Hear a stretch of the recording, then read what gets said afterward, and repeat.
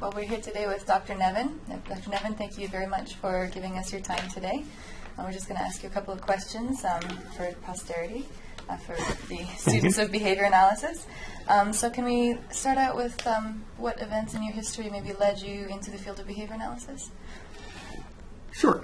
Um, by the way, I'm known, my, my formal name is John Anthony Nevin. I am known universally as Tony. but people get confused sometimes when this John Nevin appears in uh, the title of you know, author of an article. well, I'd never even heard of behavior analysis when I went to university. In fact, I'd not, I heard of psychology, but I was an engineer. I studied mechanical engineering in the early 1950s. And over the course of the next few years, I was in the Coast Guard. I spent a lot of time at sea, so I did a lot of reading. And I encountered um, 19th century psychophysics. And, wow, is that ever great? You're going to examine the relationship between private experience, private experience following sensory input, and mathematically relate the private experience to the physical stimulus? Wow. So, yeah, bridging the physical world and the private psychological world. I thought, gee, I think when I get out of the Coast Guard, I'll go do that. and so I went to Columbia University in order to do visual psychophysics with uh, Professor Graham. Now, mind, I've never had any psychology at all. So this was great. You just walk in and start doing research.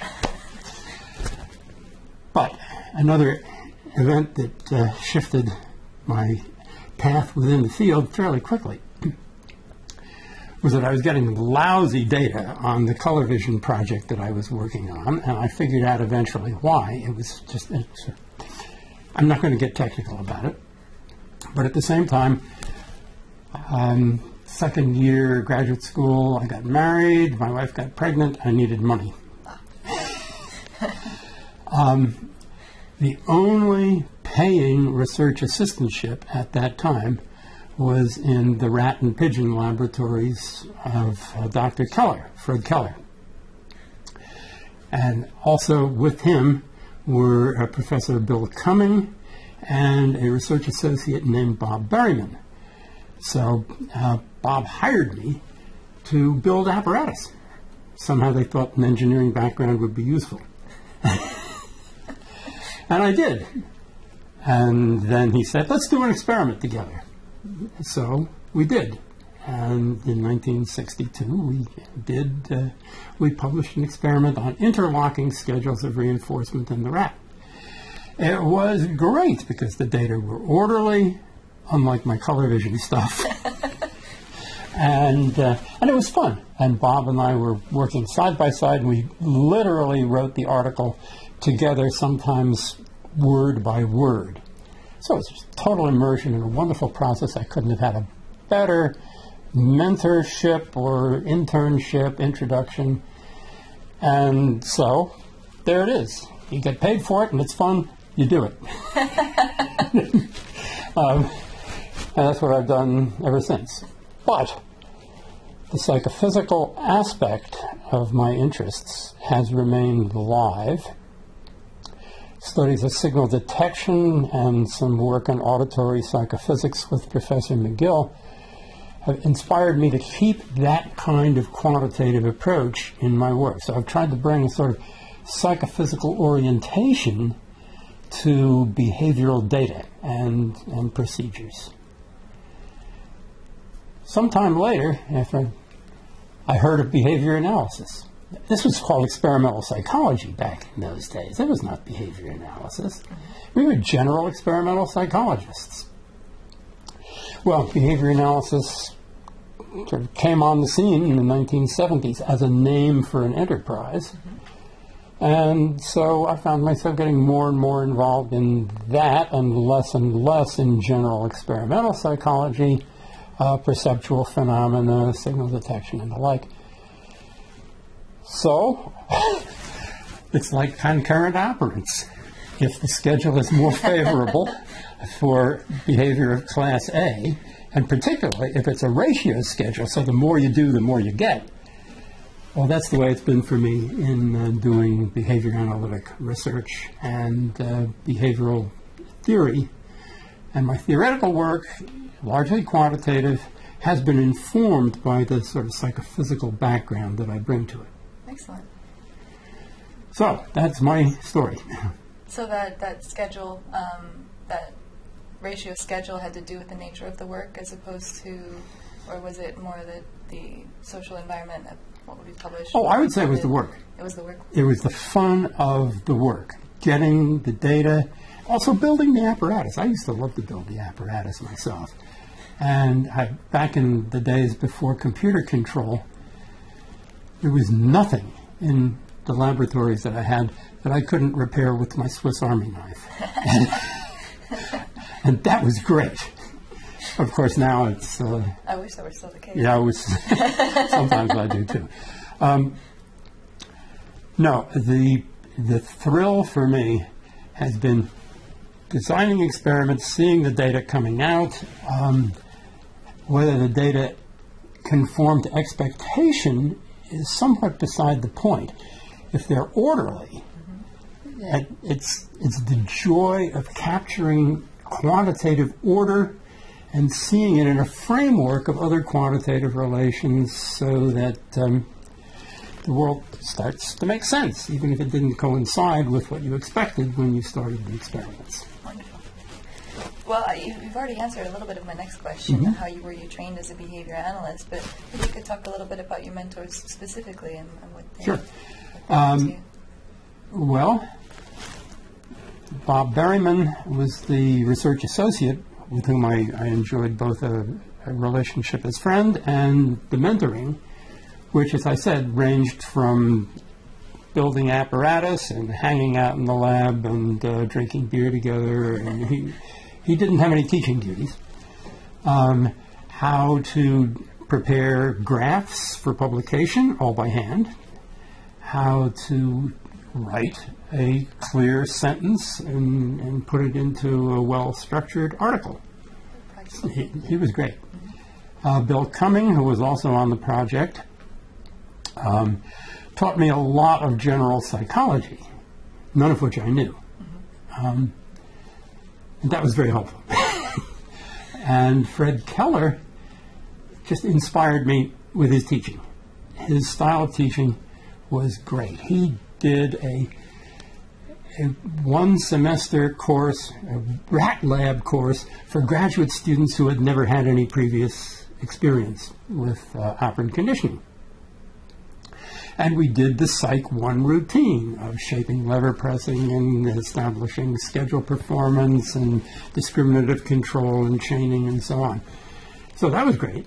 Um, and, um, well, oh, another very important thing was that Keller and Berryman and Cumming had a project on the complex discriminated operant, which was basically matching to sample. That familiar to you? Somewhat. Yeah.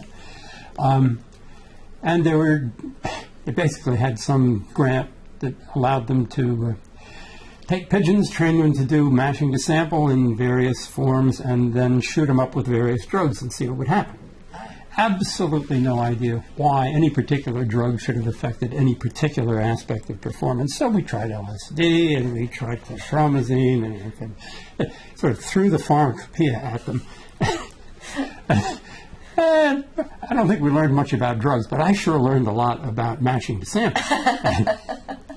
and one of the things that I have, all right, this is not on this question, but much later in my professional life, uh, working with Tim Shahan and Amy Odum and Michael Davison, I was able to bring matching to sample back into my repertoire of operant performances that I could treat in exactly the same way as free operant response rate in a mathematical model. So that was great. So it took 50 years to get there, but I got there. No, 40 years. Yeah, because it was a short time. What was it like to be behavior analyst in your early years in the field? um, I would say, somewhat isolating. Uh, at Swarthmore College, uh, that was uh, home of old style Gestalt psychology. The people there had been in Germany and had mostly fled Germany in the 1930s. And, uh, well, they had their worldview. It was very different. so we started having every week we would have lunch together, and I would explain something about I was I was doing on odd numbered weeks, and they'd explain something about Gestalt and perception from their perspective on even numbered weeks. So it was quite a learning experience for them as well as for me, but I certainly never had anything like a supportive colleagueship at the college. That open dialogue sounds very cordial, though. Oh, it was very cordial. I even ran Solomon Asch in a room sized version of a pigeon chamber, and I laid on him a task which I now refer to as multiple uh, matching the sample. Mm-hmm.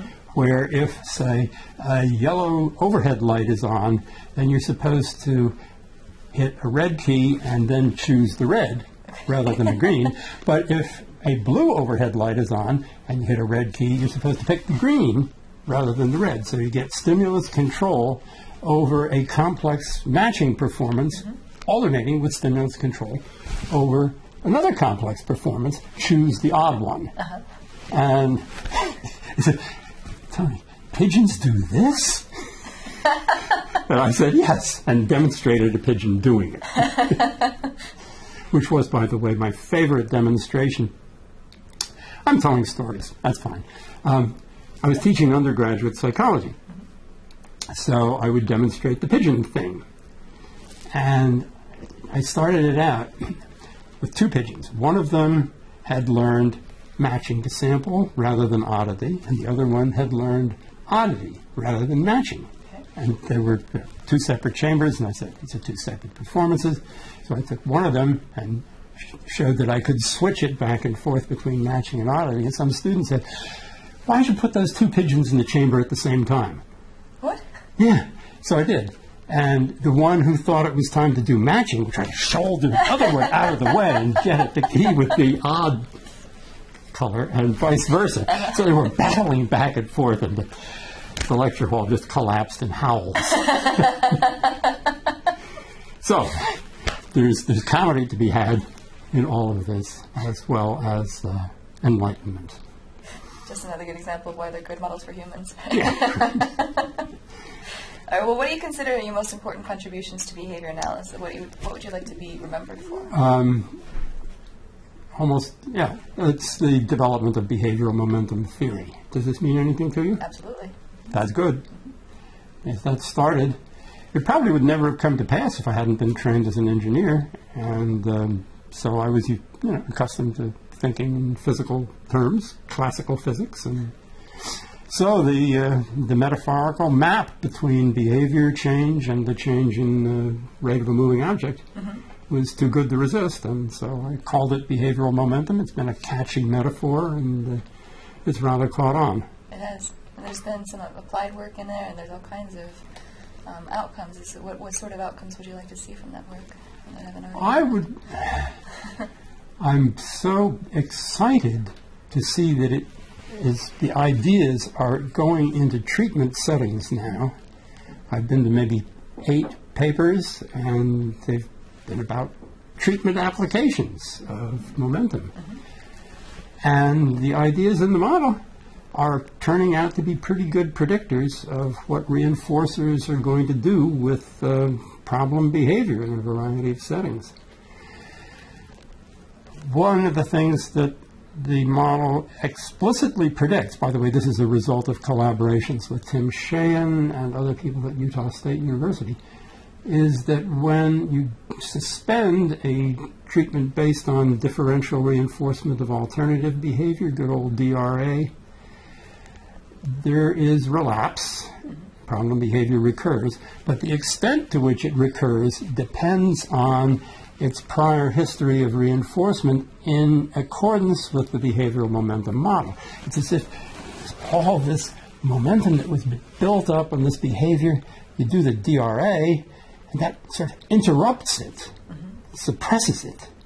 As soon as you remove it, bingo, the old behavior is back. But the extent to which it comes back depends on how frequently or how generously it was reinforced before treatment. When you're dealing with a troubled behavior, a a kid with troubling behavior, you don't know what the history of reinforcement is before you do your intervention. So it's important to explore in the basic lab how various histories are going to interact with various kinds of reinforcer-based treatments, and that's, that's part of what we're doing now. It's also very important to try to find ways of alleviating relapse. Uh, these are, you know, when somebody resumes the problem behavior, that's, that's relapse. Very common. All sorts of problematic behavior exhibit relapse under a lot of circumstances.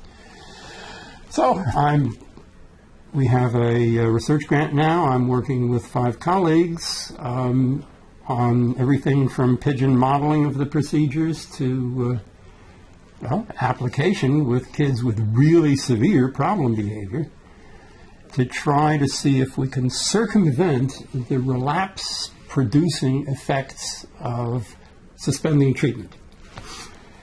And how about that? I think we can do it. We've got some, that's we've so got, you know, one kid and eight pigeons. But I'm encouraged. I don't need much. Just don't make them compete for the key. Right. Good for you. All right, so how do you think behavior analysis is, has changed over the years that you've been in the field? Um, it's become more systematic, uh, the research part. I'm going to talk only about experimental analysis. Has bec- you know, only recently have I gotten caught up in the applied part. Very recently. Uh, experimental work has become much more systematic in the sense of systematic exploration of variables. We're, we've passed the sort of fun part of demonstrating that reinforcers would work. That yes, you can teach a dog to bark, and all these wonderful things that were coming out in the 50s and 60s. That was great, good fun. Um, and now it's more parametric exploration of variables, systematic much more use of quantitative uh, equations to describe the results, much more use of quantitative formulations as frameworks within which those quantitative descriptions can be nested and they will be seen to be coherent. I think it's great. It's, it's a mature, truly a mature natural science in that respect. Does that mean we have all the answers? Of course not. Does any mature natural science? No. Excellent. So, is, is there anything in the, your career that you would have done differently? Yeah, in teaching. I my final um, position was at the University of New Hampshire. Now I'd been at Columbia, I'd been at Swarthmore College. At Swarthmore, every kid in the room was brighter than me. Um, at Columbia, well, most of them.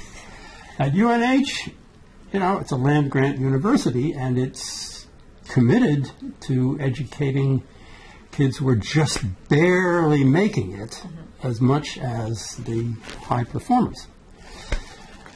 And I, I was teaching statistics. That was part of the department joke, make him use statistics, even though he never uses it in his research.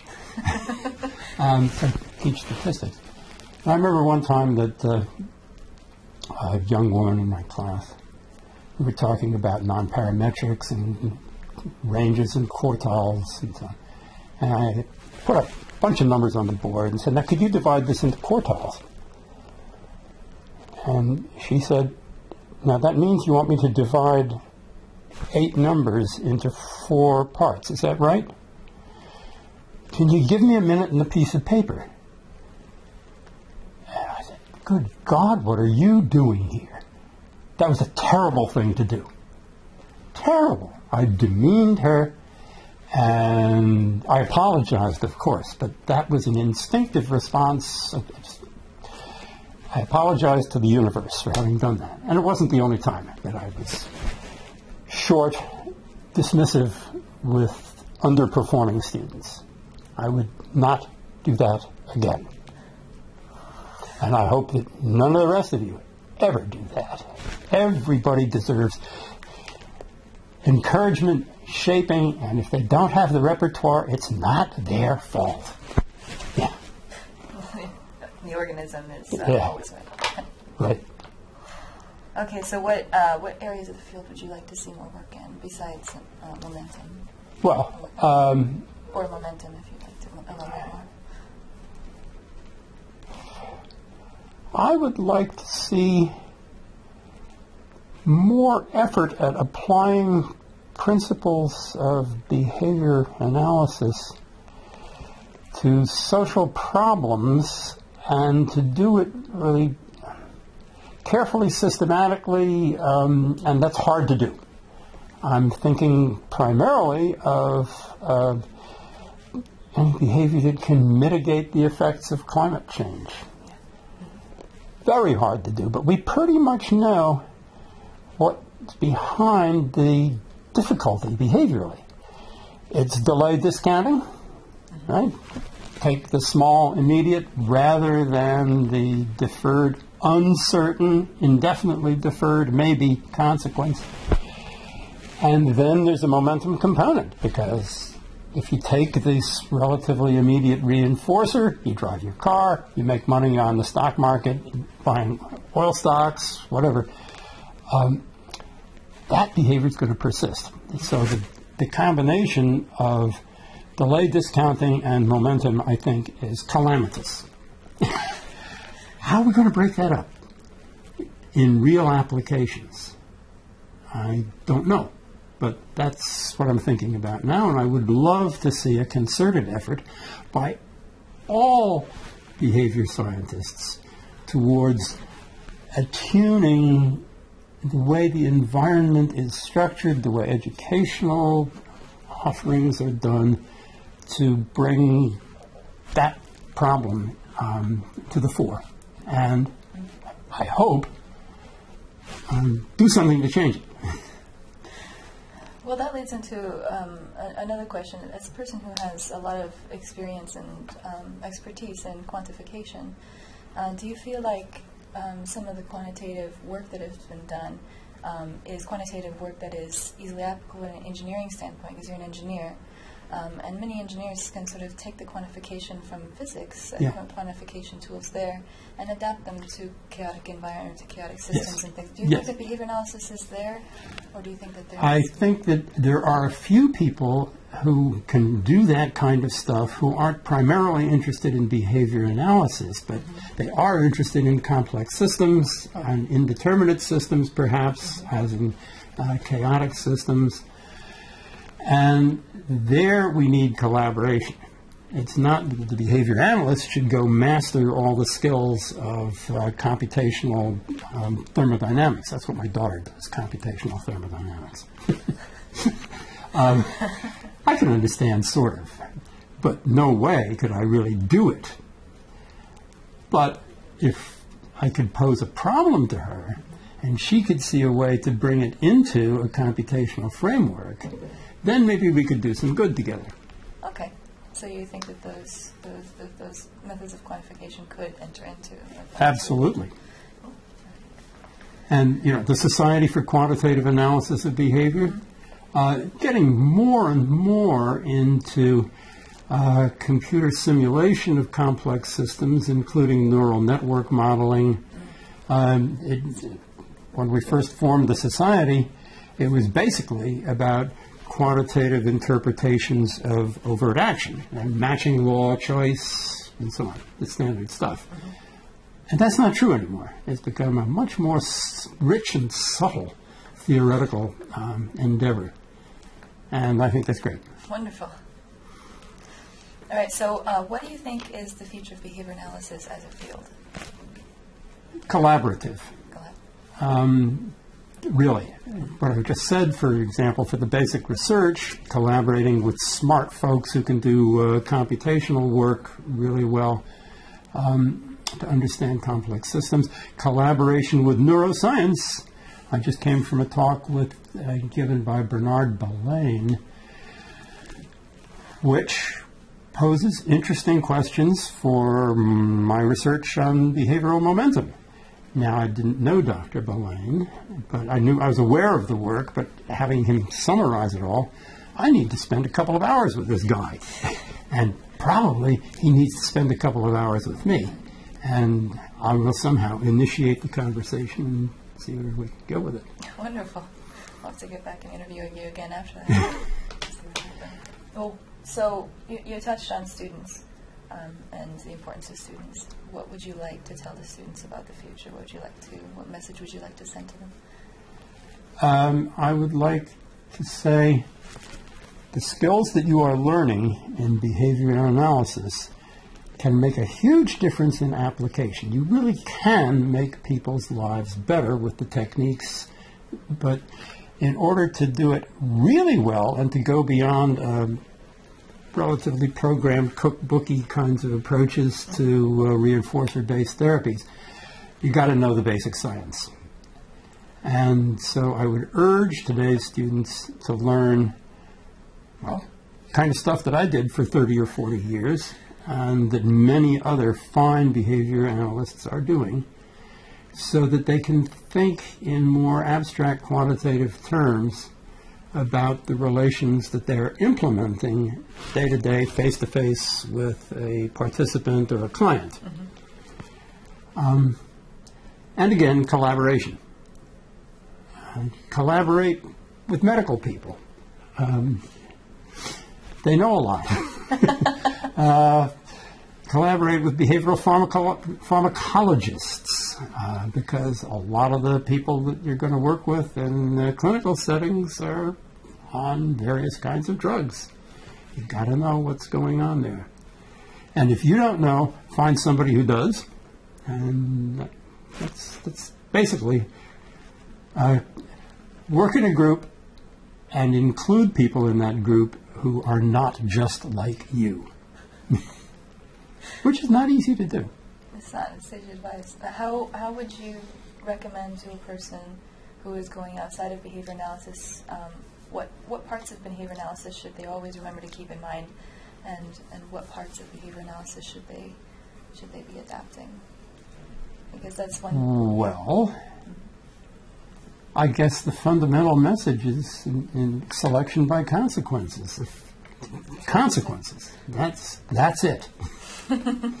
now, the various ways in which that overarching principle works out in particular situations is, that can be very complicated. But that is the overarching principle that should be carried along and at every level. How does the effectiveness of the treatment that you're administering have consequences for the program that you work in and for the education of others? For you, know, you should try to see yourself so that your work is shaped by its consequences and perhaps guided by anticipated future consequences for you and for your field. Good, good answer. Very broad. Yeah, So, very uh, broad, therefore unhelpful. Well, Sorry. Sometimes those broad abstractions are the things that can help to, to integrate. That's why I asked, is because you know many people going into other fields have a hard time sometimes synthesizing and bringing with them the, the core pieces of mm-hmm. behavior analysis without necessarily just you know adapting, mm-hmm. becoming a, a different kind, having a different kind of background. So, so I was curious as to your insights into that. Well, so selection by consequences. Selection by consequences. Right back to Skinner. Genesis 1 1, to put it in biblical terms. In the beginning was selection by consequences.